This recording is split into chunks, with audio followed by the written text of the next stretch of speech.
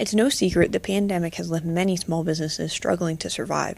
Yet a local coffee shop tucked off Youngstown's north side has been selling out of coffee weekly after expanding their online platform.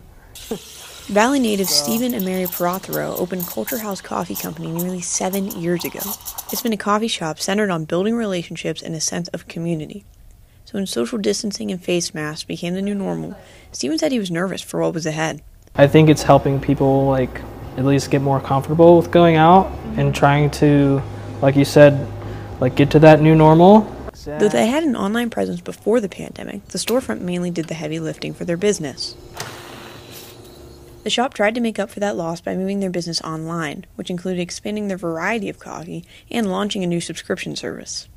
Something I've always kind of wanted to do, um, and then through that, that kind of just like kind of forces you to like innovate, like you said, and uh, just kind of pushed us to make that happen. So.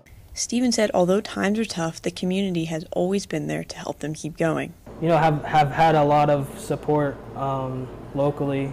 Um, I, I keep saying this, but like if you have uh, something good like in Youngstown, people will find you. You know, so I find that to be true during this time. So.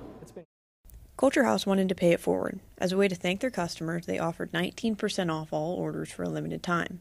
For frontline workers, they donated five gallons of coffee to each of the Mercy Health Centers in Youngstown and Warren. As a donation, um, we partnered with somebody to make that happen, uh, somebody locally. So, uh, yeah, it was it was nice. It, it felt good. So. Culture House has recently reopened their indoor and outdoor seating. As YSU transitions into the upcoming school year, they're excited to safely welcome the students back.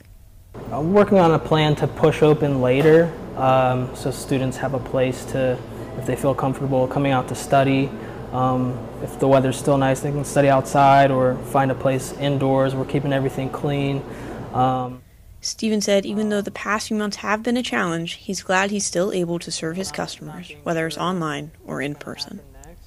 Reporting in Youngstown, Taylor Frank, WKBN 27 First News.